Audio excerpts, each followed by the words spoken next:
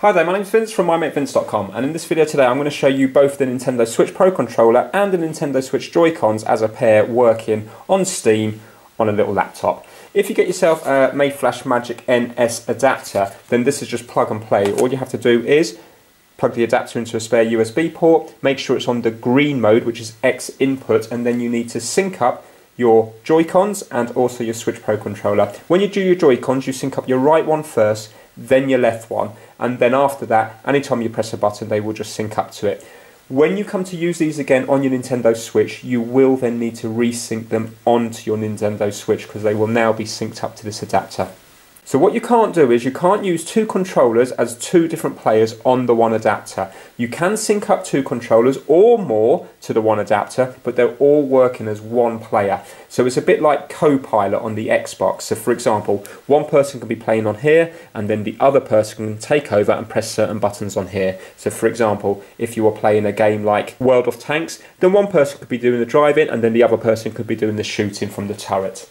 Right, also Rumble works on this. I can't seem to get Rumble to work on here. And I'm also unsure at this moment in time whether the analog sticks are working as analog sticks or whether they're just working as a D-pad.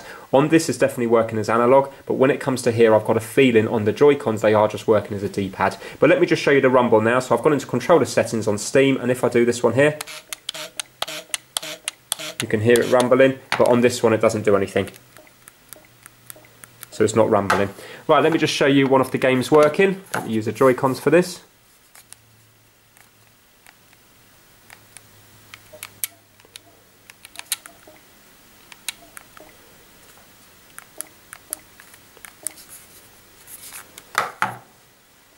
There is other ways to do this without the adapter because obviously these have Bluetooth built into them, but it's quite involved and you need to basically convert the inputs into something that Steam will recognize. This way it's just plug and play, it's really straightforward.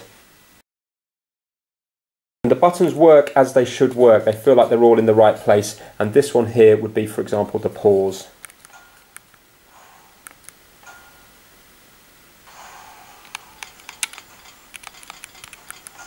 Let me just put it down to easy so I can show you the controls working.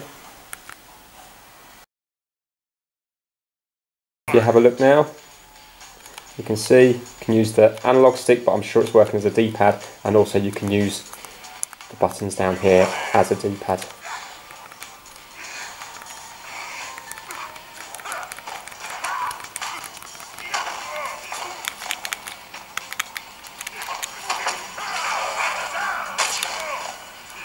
And it seems pretty responsive.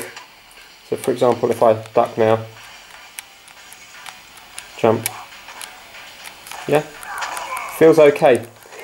And now just to show you, that's still working there, but now I can just take over and use this one here. So they're both working as the same one. So for example now, if I was to go to here, you can see I'm using this to do the punching and kicking and this to move around the screen.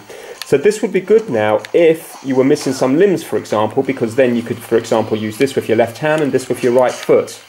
So I'm not sure whether this exists on Steam at the moment. Perhaps you can add that to the comments if Copilot does exist on Steam. But there you go, that's how to do it, nice and straightforward. This adapter you can get off Amazon, and at the moment in the UK it's £18.50. So it's not a huge amount of money, but I like it because it's just so simple to use.